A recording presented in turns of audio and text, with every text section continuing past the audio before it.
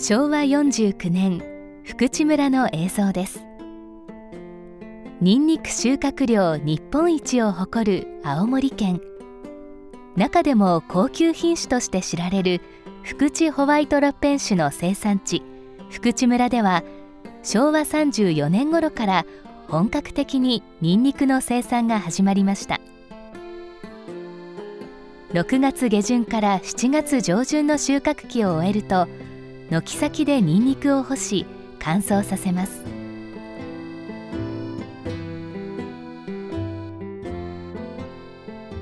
ニンニクの加工品として長年親しまれているのがこちらのニンニク球およそ50年前地元の東山医師さんが家族にもっと健康になってほしいと研究を重ねて作ったものです。ニンニクに小麦粉などを混ぜ合わせて球状にするので気軽にニンニクエキスを取ることができます。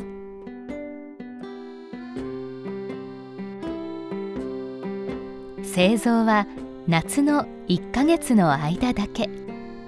手作りのサプリメントとして人気で今では県内だけでなく全国的にも知られるものとなりました。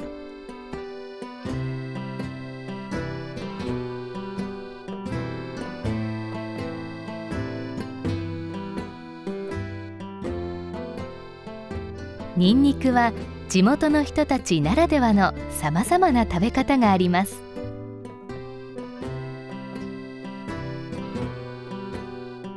こちらはニンニクの醤油漬け。そしてこちらはニンニク味噌。福地村では昔も今もニンニクを食べて暑い夏を乗り切るのです。